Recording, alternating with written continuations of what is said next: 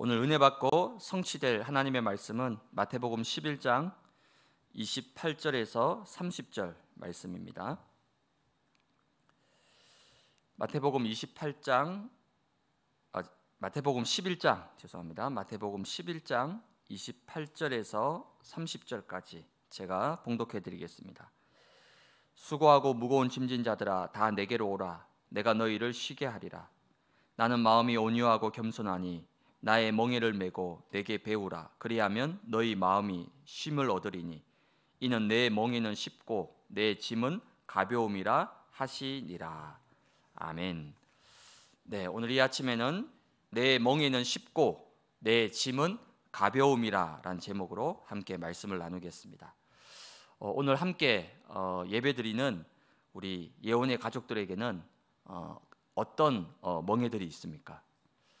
어, 불신자들은 100% 사단이 주는 그런 멍에를 어, 짊어지고 어, 평생 살아가게 됩니다. 요한복음 8장 44절에 너희 아비 마귀 마귀에게 소속되어서 종노릇하면서 살아가야 됩니다. 왜 사람들이 우상을 만들고 왜 큰 신전을 지을까요? 그만큼 두렵고 불안하다는 겁니다. 뭔가에 기대고 뭔가를 의지해야만이 살 수 있다는 거죠. 어떤 집사님께서 이제 복음을 전하려고 이제 불신자를 만났는데 이 사람이 복음을 가만히 다 듣고 나서 방에서 쇼핑백을 하나 이렇게 가지고 나왔는데 그 쇼핑백 안에는 부적이 가득 들어 있다는 거죠. 한두 개가 아니라 쇼핑백 전체가 다 부적으로 가득 차 있다는 거죠. 아니 어떻게 이렇게 많은 부적을 가지고 있냐고 물어보니까 매달 봐야 되는 점이 따로 있다는 겁니다. 또 가족별로 이렇게 봐야 되는 점들이 다 따로 다 있다는 거죠. 그걸 다 보니까 뭐 쇼핑백 한가득 부적 들어 있는 거죠. 심지어 몇만 원짜리부터 몇백만 원짜리까지. 그걸 왜 보고 왜 가지고 다닐까요? 그만큼 불안하다는 거예요. 두렵다는 겁니다. 그 아무것도 아닌 종이 조각에 그저 사람이 써주는 그 그거라도 가지고 있어야만이 뭔가 불안과 두려움과 염려로부터 좀 살 수 있다는 거, 숨을 쉴 수 있다는 거예요. 사단의 멍에가 뭡니까? 로마서 3장 23절에 보니까 죄의 멍에가 있어요. 죄의 멍에에서 도저히 벗어날 수가 없는 겁니다. 너무 착하고 인품과 인격이 훌륭하고 너무 괜찮은 사람인데 왜 심판과 지옥으로 갑니까? 로마서 6장 23절에는 죄의 삭은 사망이다. 사기라는 것은 물고기가 낚시 바늘에 걸리듯이 죄의 바늘에 완전히 걸려들어서 멸망으로 끌려가는 것을 말합니다. 그게 죄의 삭시입니다. 그 끝은 사망이다. 어제 다락방 이제 말씀 운동하러 갔다가 마치고 이제 김밥을 사러 김밥집에 잠깐 들렸는데 그 김밥을 이제 싸고 기다리는 동안에 그 가게 주인이 저 저 주방 안에서 어떤 분하고 이제 얘기를 나누는데 그절 얘기를 하는 거 보니까 이제 불교 신자이겠죠. 뭐 이제 법정 스님이 돌아가셨을 때 이제 그 얘기하면서 저 그러니까 보니까 이제 2010년 3월달에 이제 죽었더라고요. 근데 그 법정 스님은 어, 불교계를 대표하는 그런 대표적인 지도자입니다. 또 우리가 잘 아는 여러분 법정 스님은 몰라도 무소유란 책은 다 아시죠? 워낙 유명하니까 그 무소, 무소유라는 책을 지은 저자입니다. 그 법정 스님이 죽었을 때 이제 자기가 다니는 절에서 이제 광고가 나와서 이제 장례에 갈 사람들은 다 모여서 이제 간다라고 했는데 자기는 그때 뭐 시간이 안 맞아가지고 막 참석하지 못했다라고 너무 아쉽다 두고 두고 후회가 된다라고 하여튼 그런 얘기를 쭉 하는 걸 제가 얼핏 들었습니다. 불교계에서 가장 존경받고 평생을 무소유 그러한 삶을 살았던 그 대단한 스님도 뭘 해결하지 못했습니까? 뭘 피하지를 못했죠? 히브리서 9장 27절에 보니까 한 번 죽는 것은 사람에게 정해진 것이요. 그 후에는 심판이 있으리니. 심판 뒤에는 뭡니까? 영원한 지옥 형벌이 있는 거예요. 그 누구도 예외는 없습니다. 불신자는 사단이 주는 재앙과 저주의 멍해를 운명사주 팔자로 짊어지고 일평생 살아가게 되어 있습니다. 그러나 구원받은 저와 여러분들에게는 로마서 8장 1절에서 2절.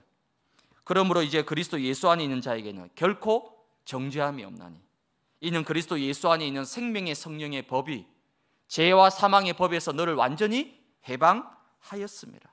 완전히 해방하였다는 겁니다. 불신자는 100% 죄와 사망의 법 아래 있기 때문에 계속해서 재앙과 저주가 임할 수밖에 없습니다. 이 재앙과 저주를 막아보려고 점쟁이가 이름을 바꿔라. 이름이 안 좋다는 거예요. 개명했습니다. 개명. 개명했는데도 계속 집안에 재앙과 저주가 찾아오는 거예요. 그래서 나중에는 이사 가라 이사. 터가 안 좋다는 거예요. 이사까지 갔는데도 막지를 못합니다. 왜 그렇죠? 죄와 사망의 법 아래 있습니다.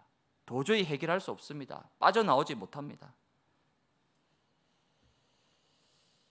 구원받은 저와 여러분들은 생명의 성령의 법 아래 있기 때문에 예수 그리스도의 이름으로 죄와 사탄과 지옥의 삼 저주에서 완전히 해방받았습니다.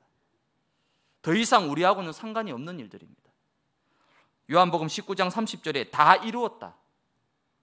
과거, 현재, 미래 다 끝났습니다. 다 해결받았습니다. 우리 주님께서 직접 선포하셨습니다. 다 이루었다라고. 근데도 혹시 여러분에게 아직까지 해결되지 않은 게 있습니까?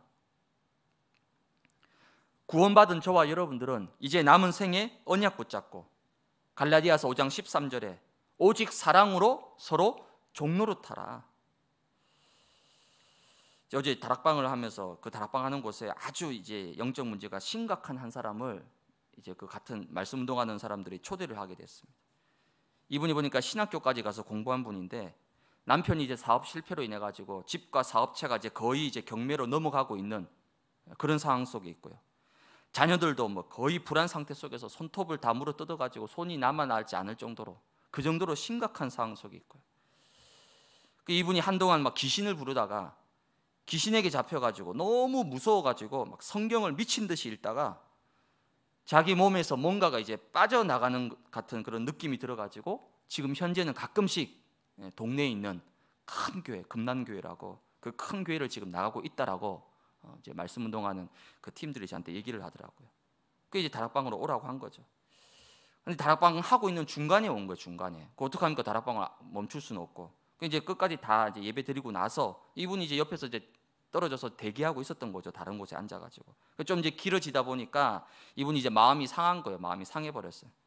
그 다락방 끝나고 나서 이제 우리 팀들이 가서 이제 뭐 상담도 하고 막 이제 얘기도 했는데 뭐 아나무인격으로 그냥 막 마음이 틀어져 가지고 근데 이 사람은 정말 얘기를 들어보면 복음이 아니면 안 되는 거예요 지금. 모든 상황과 형편이 지금 코너에 몰려 있는 거 벼랑 끝에 서 있는 겁니다. 근데 너무 이제 워낙 영적 문제 심각하다 보니까 뭐 말이 통하는 상태가 아니니까. 근데 제가 어떤 말씀 오직 사랑으로 뭐라고요? 종로로 태라 종로로. 그 제가 마지막에 가서 이제 이분한테 인사하고 기다리게 해서 미안하다고 죄송하다고 다음에 꼭 한번 만나서 좀 얘기 나눴으면 좋겠다고 하니까 이분이 아직도 마음이 안 풀렸는지 저를 툭 보면서 다음에 과연 볼 일이 있을까요? 라고 그러면서 모르니까 상태가 심각하니까 근데 그 영혼을 바라보면서요 하, 이분에게 어쨌든 복음의 빛이 비치도록 뭐라고요? 종로로 태라 종로로 왜요? 살려야 되잖아요 치유해야 되잖아요 이번 한 주간에 구원받은 복음 안에서 참 자유와 참 해방의 축복을 받은 여러분들에게는 과연 어떤 멍해가 있습니까? 뭔가 나를 얽매이게 만드는 뭔가 나를 짓눌리게 만드는 뭔가 나를 지금 답답하게 무기력하게 만드는 그 멍해가 과연 무엇입니까? 어떤 분들에게는요 남편이 멍해입니다. 평생 짊어지고 가야 되는 무거운 멍해입니다. 어떤 분들에게는 자식이 멍해입니다. 지울 수 없는 멍해죠. 어, 아니면 어떤 분들은요 돈이 멍해요 돈이. 그 이분 그 다락방에 왔던 분이요. 막 지금 경매로 막 모든 게 넘어가고 있으니까요. 우리 팀들한테도 막 보험 들라고 보험 대놓고 사람 살린다 생각하고 막 보험을 들라고 저한테도 그 얘기할까봐 굉장히 긴장을 했는데 저한테 이제 그런 얘기 안 하시더라고요. 그 이분한테 지금 돈이 멍인 거예요. 돈 오직 돈. 아니면 건강이나 질병이 멍해일 수도 있습니다. 이번 한 주간 갈라디아서 5장 1절의 말씀. 그리스도께서 우리를 자유롭게 하려고 자유를 주셨다는 거예요. 자유. 돈이 많으면 자유합니까? 제가 만나보니까 안 그렇더라고요. 돈이 많아서 굉장히 자유로울 줄 알았는데 오히려 더 묶여서 삽니다. 더 매여서 삽니다. 더 전전긍긍하면서 삽니다. 잃어버릴까봐, 빼앗길까봐. 배운 게 많으면 자유롭습니까? 아닙니다. 자기가 배운 그 지식 때문에 발목 잡혀가지고 평생 묶여서 살아갑니다.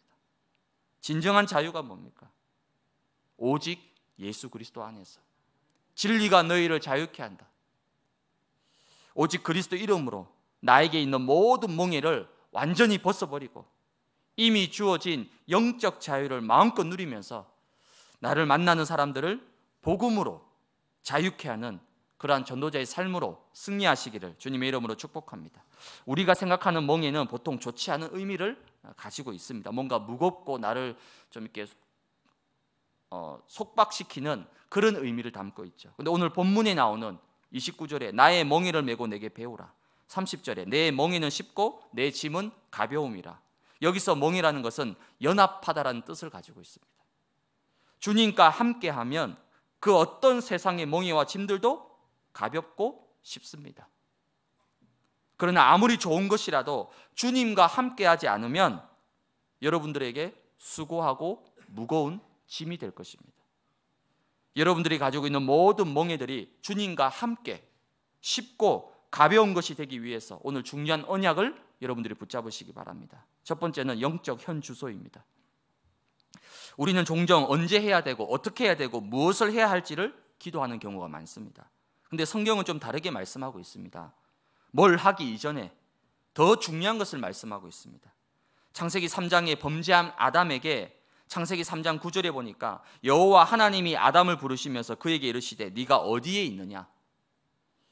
범죄한 아담과 하와는 하나님의 낯을 피해서 에덴 동산 나무에 지금 숨어 있습니다. 창세기 1장 27절에 하나님의 형상으로 창세기 2장 7절에 하나님의 생기가 들어가서 생명이 된 존재인데 창세기 2장 1절에서 18절에 에덴 동산에서 어마어마한 생명의 근원을 누리는 영생의 존재로 지음 받았는데 이 모든 것을 한순간에 다 빼앗겨 버리고 다 놓쳐 버린 거예요. 그리고 지금 하나님을 두려워해서 숨어 버리는 존재가 되었습니다.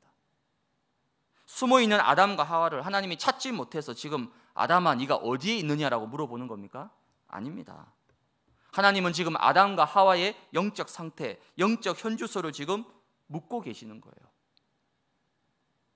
아담과 하와를 질책하고 책망하는 것이 아니라 지금 영적으로 무엇을 놓치고 잃어버렸는지를 생각하고 되찾도록 하나님이 지금 말씀하고 있는 겁니다. 네가 지금 어디에 있느냐? 네가 정말 있어야 될 곳이 어디냐라고 물어보는 거죠. 그런 다음에 하나님께서는 창세기 3장 15절에 바로 여자의 후손 원시 복음을 언약으로 바로 주셨습니다.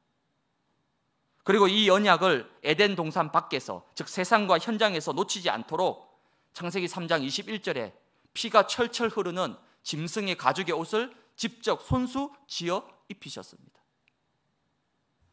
하나님의 관심은 딱 하나입니다. 요한 3서 1장 2절이죠. 사랑하는 자요. 내 영혼이 잘됨 같이 여러분의 영혼 어떤 상태 속에 어떤 위치에 지금 놓여져 있습니까? 오늘 본문의 말씀처럼 마태복음 11장 28절에 수고하고 무거운 짐을 지고 있는 상태라면 오늘 저와 여러분들은 중요한 근본의 것을 회복해야 됩니다. 영적 상태가 모든 것입니다. 요즘 우리 유 목사님 전체 메시지 속에서 세팅 세 가지 세팅에 대해서 지금 계속 말씀하고 있습니다.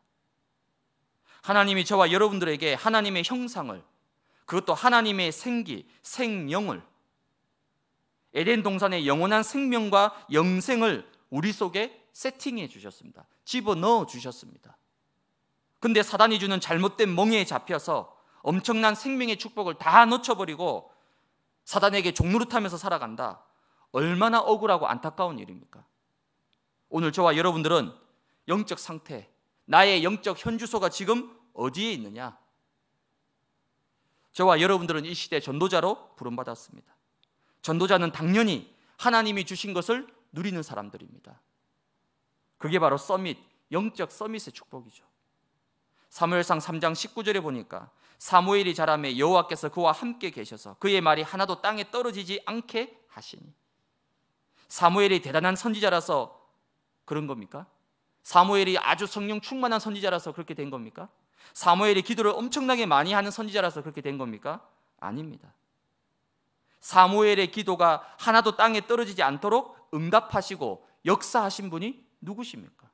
하나님이 하신 거예요.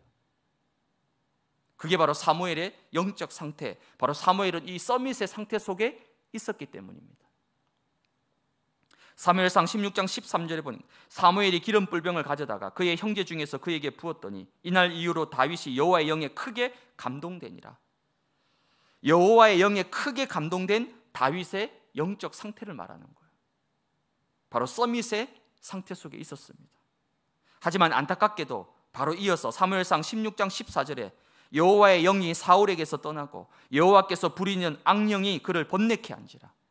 한 사람은 여호와의 영에 크게 감동되었고 한 사람은 악신 가운데 지금 붙잡혀 있습니다.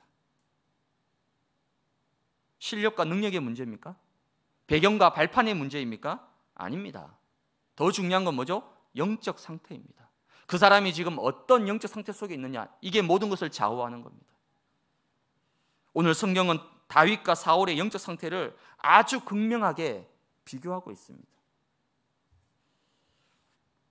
창세기 41장 38절에 바로가 그의 신하들에게 이르되 이와 같이 하나님의 영에 감동된 사람을 우리가 어찌 찾을 수 있으리요? 요셉의 위치와 자리는 아무 힘도 배경도 없는 노예 제수입니다. 하지만 하나님의 영에 감동된 하나님의 영에 충만한 상태 속에 있으니까 천하를 호령하는 바로 왕도 천하를 다스리는 애굽도 그 애굽의 모든 신하들도 요셉의 말에 움직일 수밖에 없습니다. 이걸 보고 우리는 서밋이라고 합니다.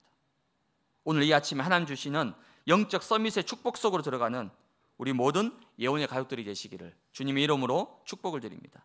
두 번째는 영적 누림, 누림 의 삶입니다. 그리스도 안에서 우리를 자유케 하신 이유가 뭡니까?